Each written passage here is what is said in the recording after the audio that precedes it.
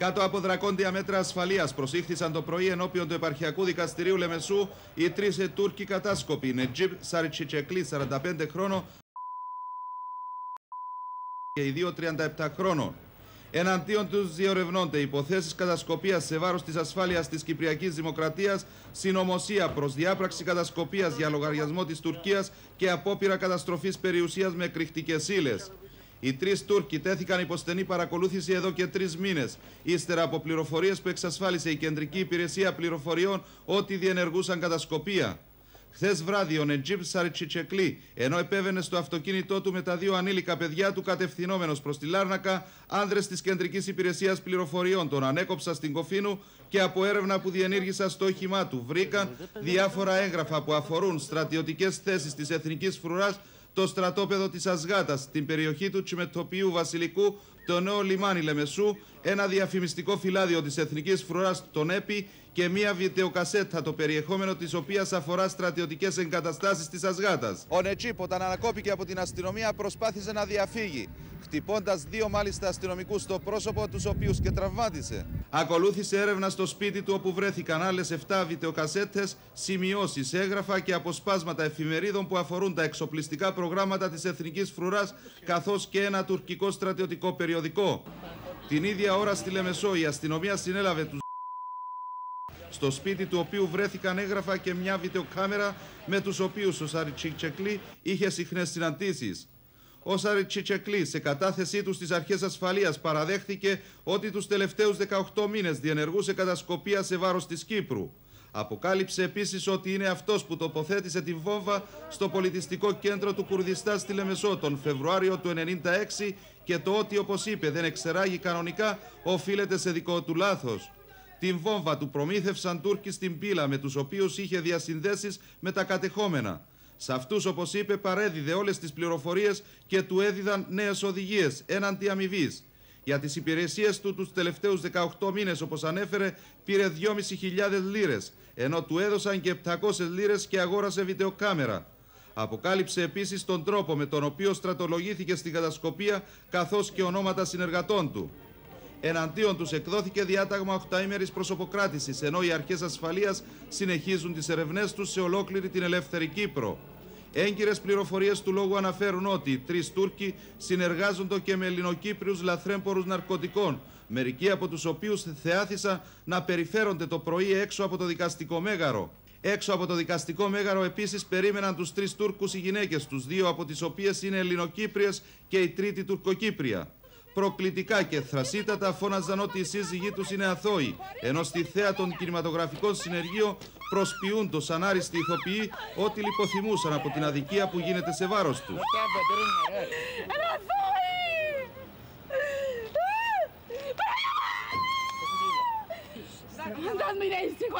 βάρος τους.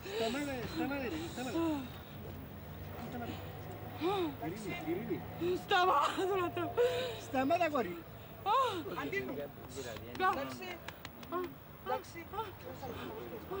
Με την άφηξη της αστυνομικής εκλούβας οι γυναίκες άρχισαν να φωνάζουν, ενώ ο Σαριτσιτσεκλή, εκμεταλλευόμενος την κατάσταση και αντικρίζοντας τα τηλεοπτικά συνεργεία, σαν καλός ηθοποιός προσποιεί το ότι χόλενε, προσπαθώντας προφανώς να πείσει ότι κακοποιήθηκε από την αστυνομία. Εισερχόμενος στην αίθουσα του δικαστηρίου όμως άρχισε να περπατά κανονικά χωρίς πρόβλημα. Όλο ένα και νέα συγκλονιστικά στοιχεία έρχονται στο φως της δημοσιότητας αναφορικά με την υπόθεση κατασκοπίας σε βάρος της εθνικής φρουράς. Ο λόγος είναι σε θέση να αποκαλύψει ότι ο τουρκοκύπριος κατάσκοπος ο οποίος συνελήφθη μαζί με τους Τζαν Σαρίτσι Τσεκλή και έχει εκπαιδευτεί στις ειδικές ομάδες υποβρυχίων καταστροφών του τουρκικού στρατού με ειδικά καθήκοντα παρακολούθησης παραθαλάσσιων στρατιωτικών σημείων.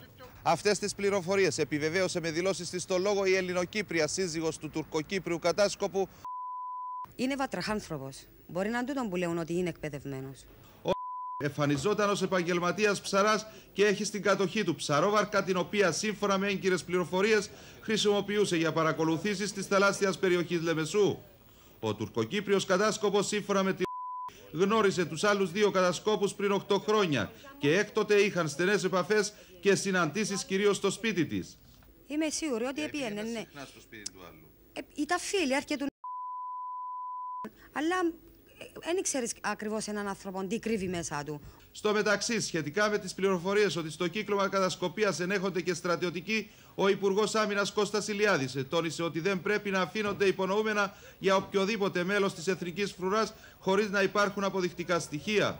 Ο Υπουργός Δικαιοσύνης και Δημόσιας Τάξης Αλέκος Ευαγγέλου είπε ότι χρειάζεται ακόμη να γίνει πάρα πολλή δουλειά για να αξιολογηθούν τα στοιχεία και να παρουσιαστεί υπόθεση στο δικαστήριο.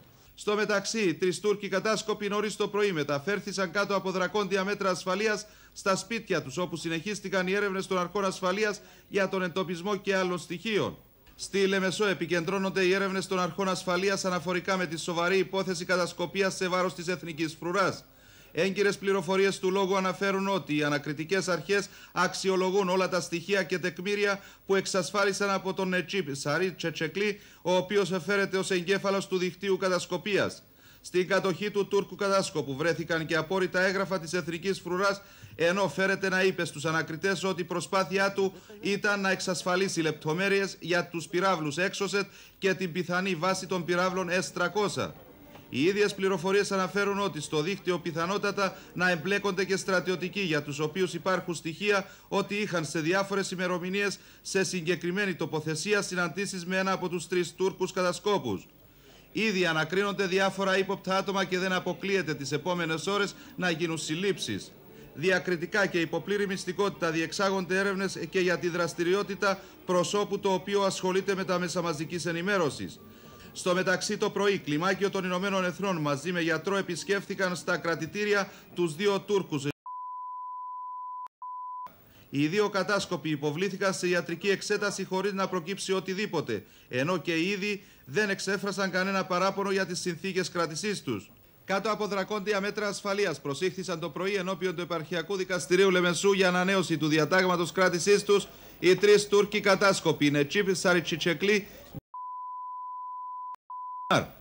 ο αστυνομικός ανακριτής, αφού επανέλαβε τις συνθήκες σύλληψης των τριών Τούρκων, ανέφερε ότι ο Σαριτσιτσεκλής στην κατάθεση ομολογία του παραδέχεται ότι μέσα στο διάστημα των 18 μηνών εκτέλεσε 15 αποστολές παράδοσης κατασκοπευτικού υλικού σε Τούρκους συνεργάτες του στο χωριό Πύλα. Έγκυρες πληροφορίες του λόγου αναφέρουν ότι ο Σαριτσιτσεκλή, φοβούμενος πιθανή σύλληψή του, θα εγκατέλειπε την Κύπρο με διαβατήριο που επρόκειτο να εξασφαλίσει παράνομα έναντι αμοιβής 700 λιρών. Στην πορεία των ερευνών, όπως είπε ο μάρτυρας της αστυνομίας, διαπιστώθηκε ότι τα έγγραφα που βρέθηκαν στην κατοχή του Σαντσιτσεκλή αναφέρονται σε θέσεις πυραυλικά και οπλικά συστήματα της Εθνικής Φρουράς και πιθανές θέσεις των περίφημων πυράβλων S300. Μια από τις βιντεοκασέτες παρουσιάζει στρατιωτικές εγκαταστάσεις στην Ασγάτα, την περιοχή Βασιλικού και του νέου λιμανιού Λεμεσού, με αφήγηση και περιγραφή από τον ίδιο τον Σαριτσιτσεκλή. Στο σπίτι του βρέθηκαν επίσης ένας χάρτης της Κύπρου με σημειωμένα έξι στρατόπεδα της Εθνικής Φρουράς και δύο σημειωματάρια με ονόματα και τηλέφωνα πιθανών συνεργατών του στις κατεχόμενες περιοχές, στο χωριό Πύλα, στην Τουρκία αλλά και στις ελεύθερες περιοχές. Παρόμοιο σημειωματάριο βρέθηκε και στο σπίτι καθώς επίσης και ένα στρατιωτικό μπερέ με εθνόσημο της Εθνικής Φρουράς. Ο πρόεδρος του δικαστηρίου, αφού άκουσε τα γεγονότα και απευθυνόμενος προς τους ανακριτές της υπόθεσης, τόνισε ότι μέχρι στιγμής δεν δικαιολογείται η αστυνομία να μην έχει μεταφράσει τα έγγραφα που βρέθηκαν στην κατοχή των Τούρκων. Το δικαστήριο ανανέωσε το διάταγμα κράτησης για τον Σαριτσιτσεκλή 8 μέρες, ενώ για τους άλλους 2 για 6 μέρες. Ο Σαριτσιτσεκλή από την ημέρα σύλληψή του αρνείται να πάρει φαγητό και παίρνει μόνο νερό, γιατί θέλει να τιμωρήσει τον εαυτό του για τις πράξεις του, όπως ανέφερε στους αστυνομικούς. Όπως εκτιμείται, η όλη στάση και συμπεριφορά Σαρτσιτσεκλή σκοπεί να επομιστεί ο ίδιος όλο το βάρος της υπόθεσης, έτσι ώστε να μην αποκαλυφθούν τα υπόλοιπα μέλη και συνεργάτες τους στο δίκτυο κατασκοπίας. Στο μεταξύ, πληροφορίες που μετέδωσε ο λόγος ότι ο τουρκοκύπριος κατάσκοπος συμμετείχε στα επεισόδια της Δερίνιας τον περασμένο Αύγουστο και η ελληνοκύπρια φίλη Προσπάθησε παραπληροφορώντας ότι αυτός έλειπε στην Αγγλία μέχρι τις 18 Αυγούστου επιβεβαιώνονται από πολίτες που τον αναγνώρισαν σε φωτογραφικό και κινηματογραφικό υλικό. Επίσης ο λόγος εξασφάλισε φωτοαντίγραφο του διαβατηρίου του στο οποίο διαφαίνεται ότι η ημερομηνία άφηξής του στην Κύπρο είναι η 12η Αυγούστου. Παρά τις συνεχιζόμενες έρευνες των αρχών ασφαλείας για 15 μέρες, δεν έγινε κατορθωτό να εξασφαλιστούν στοιχεία τέτοια που να στοιχειοθετηθεί υπόθεση εναντίον των δύο υπόπτων για κατασκοπία Ω εκ τούτου, μετά και τη συμπλήρωση του σχετικού φακέλου, οι ανακριτές τους άφησαν ελεύθερους. Οι δύο Τούρκοι αφέθηκαν το πρωί ελεύθεροι, αφού προηγουμένως ο γιατρός των Ηνωμένων Εθνών τους εξέτασε χωρίς να διαπιστώσει οτιδήποτε. Η ιατρική εξέταση διενεργήθη παρουσία αξιωματικών της ειρηνευτικής δύναμης και του αστυνομικού ανακριτή. Και οι δύο δεν εξέφρασαν κανένα παράπονο τόσο για τη συμπεριφορά των ανακριτών όσο και για τις συνθήκες κρατησή τους. Κατά την αναχώρησή τους από τον κεντρικό αστυνομικό σταθμό Λεμεσού, τους συνόδευαν μέχρι τα σπίτια τους άνδρες των Ηνωμένων Εθνών. Στο μεταξύ, ο τρίτος Τούρκος Νετζίπ Σαριτσιτσεκλή, στην κατοχή του οποίου ανεβρέθησαν έγγραφα που αφορούν την εθνική φρουρά και παραδέχθηκε ότι τους τελευταίους 18 μήνες διενεργούσε κατασκοπία σε βάρος της δημοκρατίας για λογαριασμό της Τουρκίας, αναμένεται αύριο να κατηγορηθεί και να παραπευθεί σε απευθείας δίκη ενώπιον του κακουριοδικίου. Δικηγόρος του Τούρκου κατάσκοπου ανέλαβε από την περασμένη εβδομάδα ο τουρκοκύπριος Αλίν Τανά, ο οποίος ήταν και δικηγόρος του μεγαλολαθρέμπορου Τούρκου Εϊμές. Έξι συνολικά κατηγορίες απαγγέλθησαν στον Τούρκο αρχικατάσκοπο Νετζίπ Σαρτσιτσεκλή που αφορούν τέσσερις για κατασκοπία σε βάρος της ασφάλειας της Κυπριακής Δημοκρατίας και δύο για τη βομβιστική επίθεση εναντίον του Κουρδικού Πολιτιστικού Κέντρου τον Φεβρουάριο του 1996 στη Λεμεσό.